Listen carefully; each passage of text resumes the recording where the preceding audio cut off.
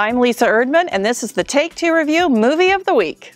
Maggie's plan to have a baby on her own is derailed when she falls in love with John, played by Ethan Hawke, a married man, destroying his volatile marriage to the brilliant and impossible Georgette, played by the always lovely Julianne Moore. One daughter, and three years later, Maggie is out of love and in a quandary. What do you do when you suspect your new husband and his ex wife are actually perfect for each other? Fans of Greta Gerwig will most definitely enjoy Maggie's plan. It is her movie for sure. But for the rest of us, we're left feeling a bit disappointed. I found myself waiting patiently for the big moment of the movie, and when it finally comes, it's the final 30 seconds of the film. The shining performance for me wasn't the big names mentioned above, but actually the character of Guy, played to perfection by Travis Fimmel. I only wish his storyline was a bigger part of the film. Maggie's Plan is now playing in select theaters. You can catch it in Kansas City and is rated R.